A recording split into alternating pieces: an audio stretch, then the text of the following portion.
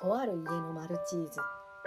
白くてもふもふでとてもかわいいワンコがいるこの家にある問題を抱えたマルチーズがいました。マールさん。このマールさんが抱える問題。それは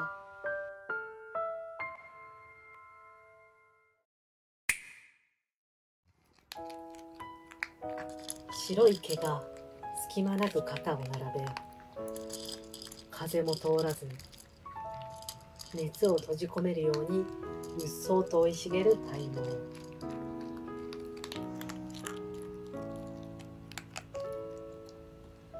もふもふでぬいぐるみのように可愛かったマールさんは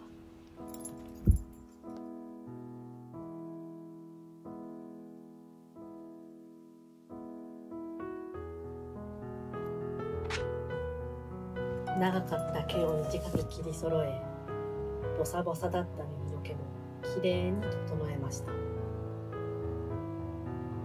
顔の目やになどの黒い汚れもきれいに落とし真っ白になっています。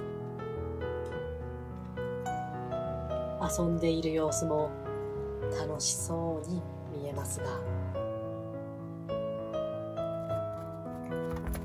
トリミング後の方がもっともっと楽しそうに見えます。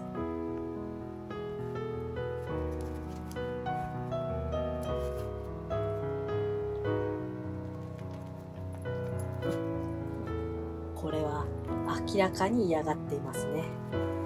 つまりお行儀も前より良くなった気がします。伏せ。伏せ。